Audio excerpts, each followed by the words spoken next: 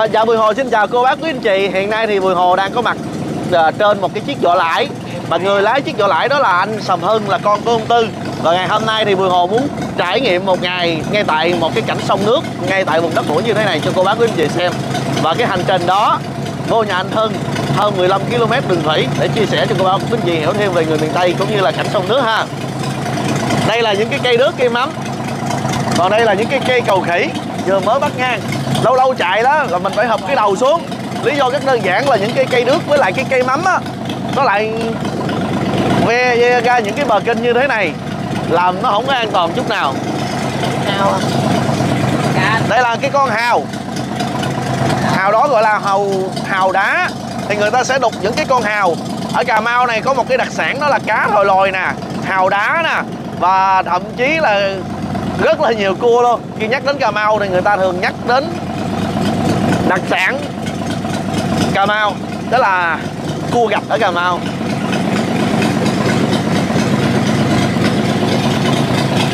Cái cảnh ở miền tây á, non nước ở miền tây nó hữu tình lắm cô bác quý anh chị. À, đây là một cái con gạch nhỏ. À, để vô để vô nhà anh anh Sầm Hưng hôm nay thì Bùi Hồ muốn chia sẻ những cái thước phim đi về cái cảnh miền sông nước cho cô bác quý anh chị xem luôn. Và à, đôi khi á là cái máy nó phải hợp xuống lý do rất đơn giản thôi là những cái cây cây nước như thế này nó nó lại phủ ngang cái ờ, cái đường và mình phải phải phải à! Phải nằm nấp ở dưới cái ghe nguy hiểm ghê chưa? Người ta nói ở cà mau á, là nam hay nữ gì cũng biết chạy những cái chiếc vỏ lãi như thế này.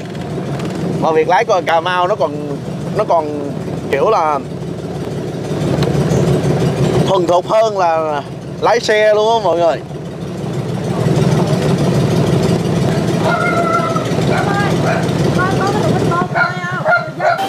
Cô ơi, cô đang làm gì đó?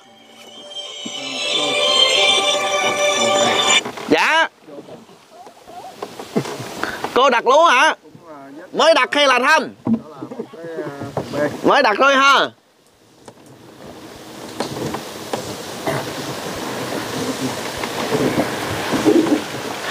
Ở Cà Mau thì uh, việc đem những cái lúa xuống sông như thế này thì sẽ có cá đó à. Hôm nay đặt thì ngày mai sáng ngày mai sẽ dở. Kiểu kiểu như là bà tư cũng thường hay đi đặt để để cho bùi hồ cũng như là các anh em ăn vậy đó đó ở cà mau ở miền tây thì cái cảnh nó dễ sống lắm. Nhưng mà để làm ra tiền nhiều thì uh, phải có một số lượng vuông khá là lớn. Uh, ngày hôm nay thì uh, cũng là một ngày để mà tổng kết cái công trình uh, của mình. Thì hổng ngày thì cái nhà vệ sinh của mình là xây được bao lâu rồi anh Hưng? Không nhớ được mấy ngày. Không nhớ được mấy ngày. Tổng cái kinh, kinh, kinh phí là bao nhiêu tiền nè? Em 7 triệu triệu mấy. 7 triệu mấy hả Bảy mấy bảy. Thì,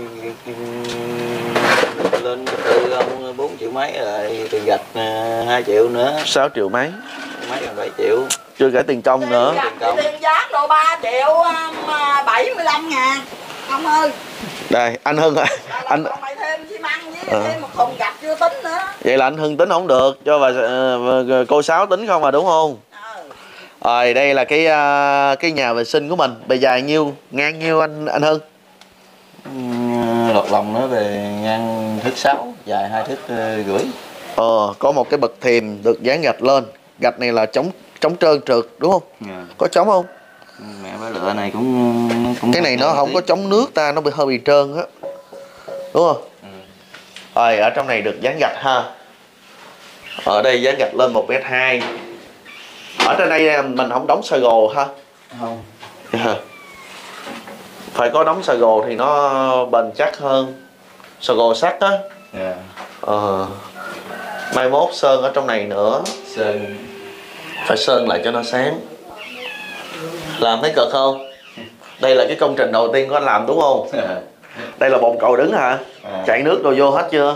Chưa bòn chưa để lên rồi chưa có lấy nước. Chưa thông nước hả? À, hoàn thành cách đây mấy ngày rồi? Rồi ờ, ba bốn ngày nay à? Vậy hả? Rồi ba bốn ngày rồi. Tổng công trình là nghiệm thu xong là khoảng chừng một tháng trời cho cái nhà vệ sinh hả?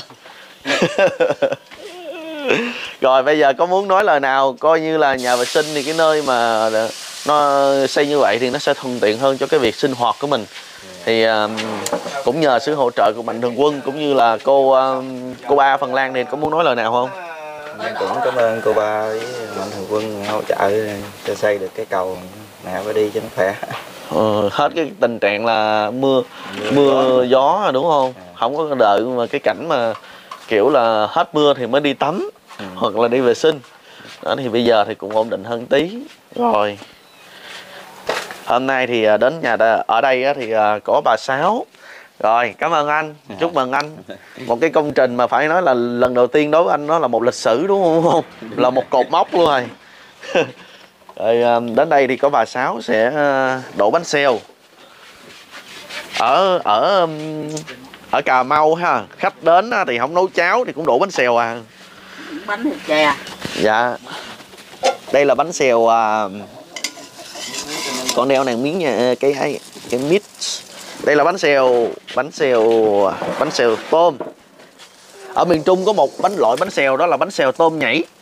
Thì à, bà Sáu kiểu là giống như giống giống vậy á. Kiểu là à, để tôm ở trên. Rồi nhân nhân gì vậy bà Sáu? nhưng củ sắn với thịt Đóng đây, đây bánh xèo tôm nhảy nè mọi người. Này là tôm nằm chứ không phải là tôm nhảy nha. Tôm này bà Sáu mua hả? hôm đó người ta cho Ai cho? của cậu út mà cậu út bữa hổm mà mà bự bự con đó Dạ, biết có khách rồi cho hay sao? ừ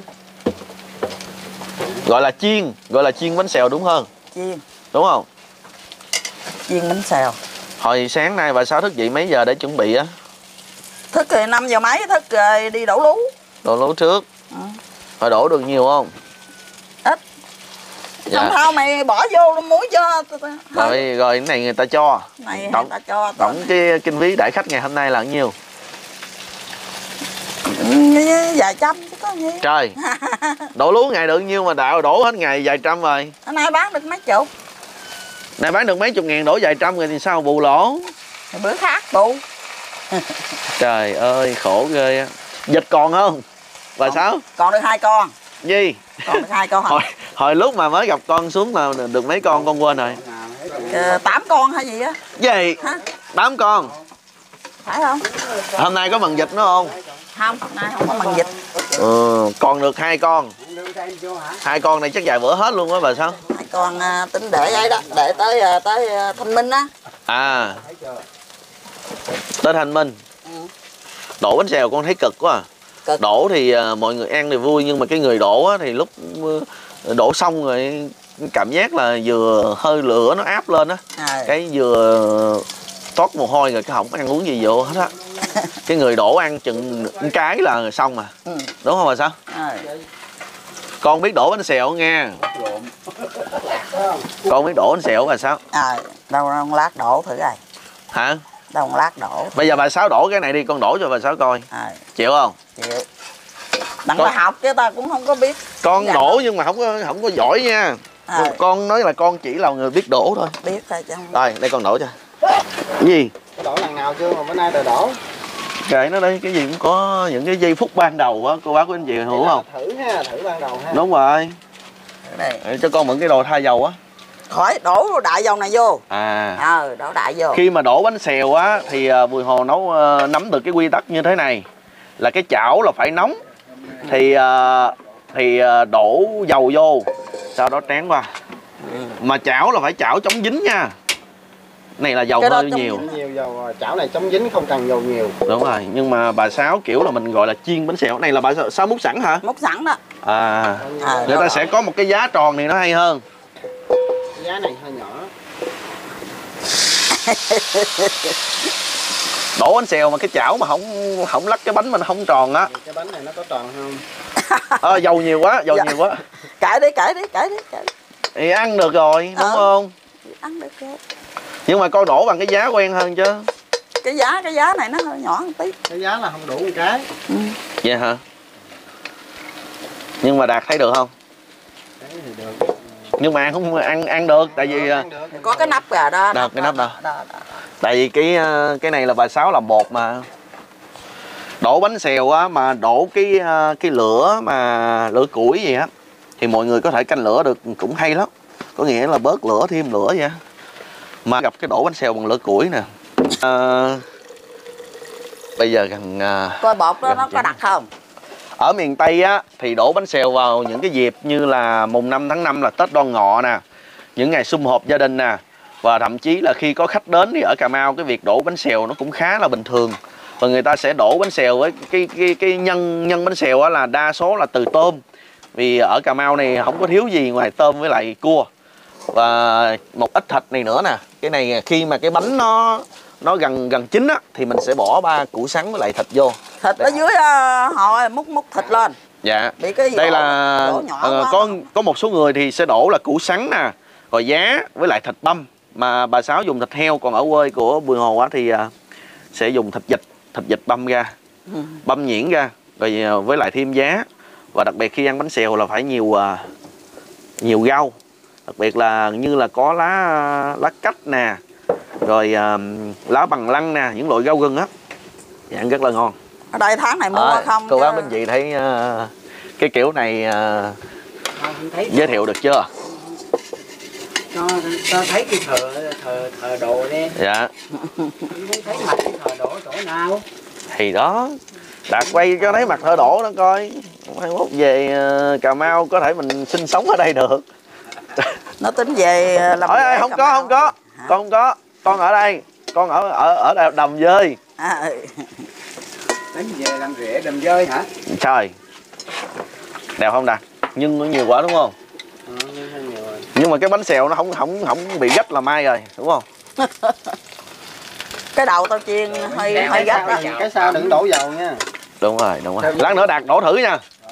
Theo như bà Mùi Hồ đổ cái bánh xèo này giá trị chắc cũng khoảng từ 40 ngàn ha Mùi Hồ không có đâu cái bánh xèo. nhân quá nhiều rồi. Cái bánh xèo này là ở Cà Mau là miễn phí rồi. Còn bán thì chắc khoảng ờ, mà chắc cũng không bán đâu. Tại cái bánh xèo đầu tiên mà sao bán được? Bán ai dám mua nhìn cái bánh xèo như như, ờ, Như cái bánh xèo Ờ. như cái bánh xèo Dạ. nhưng mà ông sáu là thấy nó gọn nè đẹp nè nó không bị khét nè nhưng nó không cái bánh nó không sống và người ta ăn không đau bụng là được rồi. Con cái là hơi bị nhiều dầu thôi Nhưng mà đổ cái bánh xèo đặc biệt là phải nghe một cái xèo nha. Đúng rồi thì nó gọi là bánh xèo. Không xèo là nó không không phải không xèo thì không gọi là bánh xèo mà gọi là bánh đổ. Đúng không? Chín giờ đố đặt chín giờ Chính rồi. Để cho mọi người xem nha. Ê. À. lấy ra cũng là một kỹ năng chứ không giỡn đâu nha. Ừ. ngày xưa thường coi mẹ đổ bánh xèo không?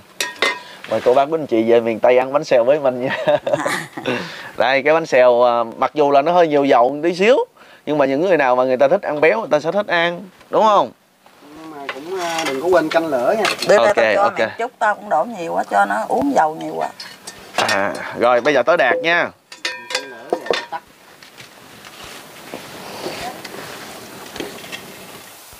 đây. Cái mặn để riêng đi cái này cái này là cái mặn đúng không? Ờ còn cái này tao cái này là à, người đổ người ăn luôn hay sao? Người đổ người ăn này đổ nó ăn hay sao? À, xa xa kìa quay quay đây quay quay đây. Đây cái chảo này hồi đó giờ không có ăn bánh xèo không biết nó ăn được không? Rồi.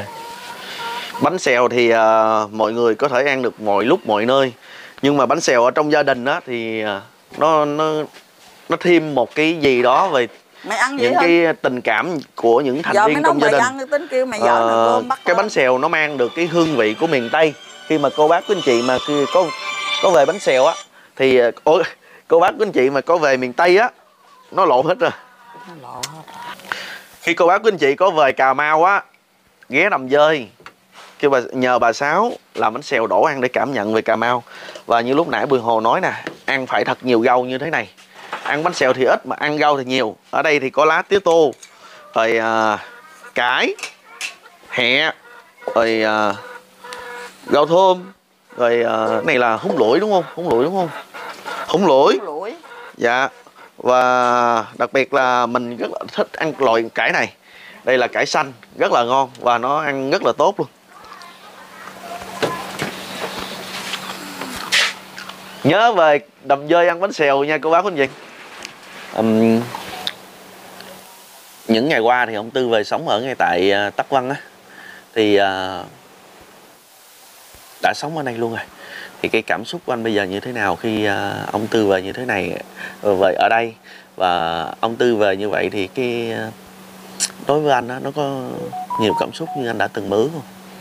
Cũng có như cha về thì cũng mừng sống với con cái rồi cũng vui lắm ừ. còn với cha ở đó thì cũng buồn trong lòng Ừ. như mẹ đây thì cũng gần bà cũng điện ờ, hỏi thăm rồi cha ngoại cũng thường xuyên điện cái thường á Ừ. Ừ, thì cũng có ông ông sáu ừ. thì ờ, ông sáu có kiểu là ờ, gọi là sao ta có cái gây khó xử không? Không không thì cũng bình thường à chứ không có gì hết. Vậy hả? Anh thì bao lâu mới ờ, mới ra ông ông tư một lần? Ừ, như công chuyện xong này ba bốn ngày thì chạy ra ngoài. Ừ. tới chế ở mà nhà này chắc ra ngoài ở ngoài mình gọi nhà mới mới về bên đây. Ừ. cũng chạy ra chạy vô vậy đó. Cái việc ăn uống của ông tư thì ờ, lo cho ông tư đâu có khó lắm không anh không cũng bình thường à. Ừ. như cha thì ở đó thì gần chợ thì nó cũng khỏe. Cha muốn ăn gì thì chạy ra đó rồi mua về cho cha. Trước trước giờ thì không có cha bây giờ thì có cha rồi. Thì ờ, anh có thường xuyên tâm sự với ông tư và có nghe ông tư trải lòng như thế nào khi về cà mau không? Ừ, ít lắm như cha không giấu trong mà người không hả? Không có ờ, bày tỏ ra ngoài. Những con cái cũng có hỏi không nhưng mà không có tâm sự nhiều vậy hả à. ờ. có hỏi về cái việc về cà mau cha ở có quen được không thì ông tư có trả lời như thế nào không? Ờ, cha cũng nói thì ông cũng ờ, mới thì ông chưa có quen ấy còn giờ chắc ông cũng chắc quen này những lúc mà buồn nhất á, thì ông tư thường mượn cái men rượu để mà giải sầu thì có bao giờ ông tư đòi về lại hậu giang không cũng có ừ. cũng có lâu lâu cũng có đòi về cho ảnh nhưng mà cỡ nào cũng có ép cha ở đây chứ. Ừ. Thì lúc đó anh sẽ an ủi như thế nào? Thì ờ, như là cha thì thì đó giờ con chưa có chăm sóc cho cha được cái này kia rồi. Rồi cha ở lại đây rồi cho con cái rồi nó chăm sóc cho cha. Ừ. Để cha thì cho ảnh có mình nên cho ảnh à. Ừ. những lúc như vậy thì à, chị Hường chỉ có một mình chị mà nuôi Hải với Đăng nữa. Thì ông Tư đôi khi buổi chiều thì cũng có một vài men rượu thì à, anh có cảm nhận được cái chị Hường nó có vất vả không? Cũng biết chế ngoại thì giờ lo cho hai nhỏ giờ cái thêm cha nữa. Ừ. giờ cũng cũng có sự rước ổng về đây thì cũng không được. Bỏ ngoại thì cực cho chế. Ừ. cũng thôi cũng chạy ra chạy vô vậy đi chứ cũng chưa biết sao nữa. Ờ, chị Hường thì được mọi người chung tay nhau giúp đỡ có được cái nền nhà và thậm chí đến thời điểm này là chuẩn bị khởi công để mà cắt nhà luôn. Vậy à, đối với anh nó vui dữ không? Vui mừng cho chế rồi có nhà riêng đồ này kia cho cho bả lên sống cho khỏe. Chứ nhà thì mướn thuê thì tháng nào cũng tốn tiền hết. Ngày xưa thì à, chị Hương còn ở chung nhà đó thì với anh thì chị lo phải vất vả nhiều không anh, anh cũng lo như tiền bảo hiểm anh ở này kia chế có mua cho không đó vậy hả? À. tính ra chị Hương cũng giỏi chứ ha. Thì đó đi mần có tiền thì đưa lại bả rồi không có thì để đó. Thì bảo hiểm thì bả mua năm suốt luôn. Mua cho mẹ hết luôn? Ừ, mua cho hết gia đình luôn. Mua hết cho gia đình luôn? À. ồ. Mà chị em thấy chị Hương lo cho hai cho Hải Dương Đăng cũng đầy đủ ghê á. À. Ờ.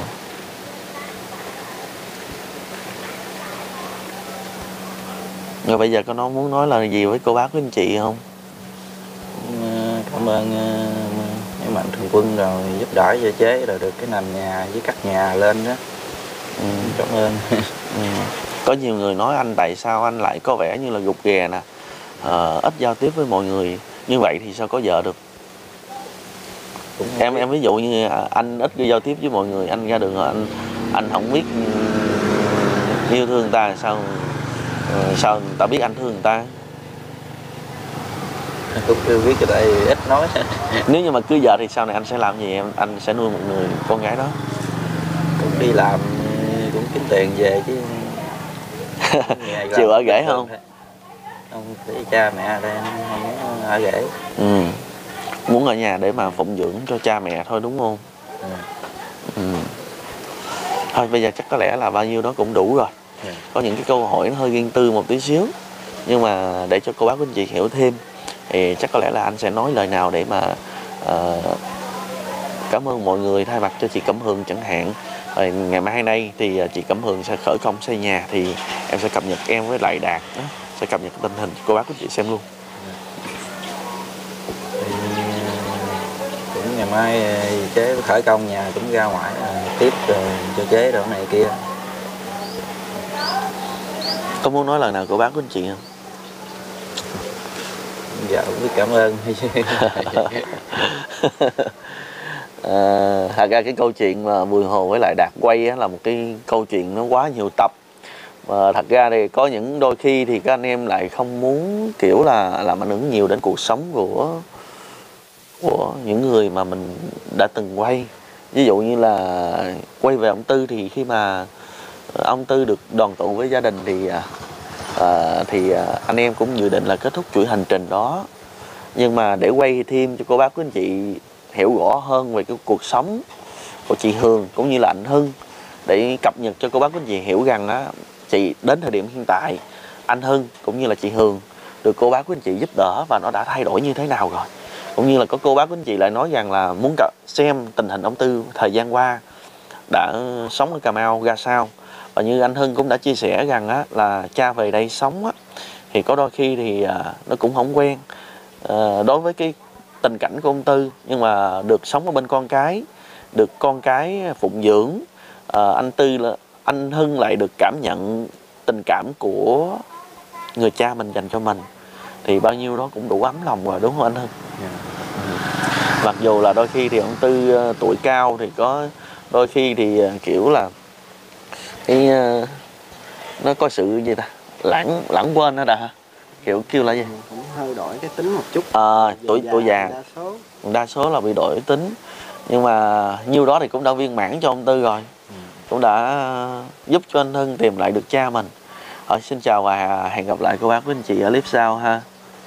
Bye bye anh Hưng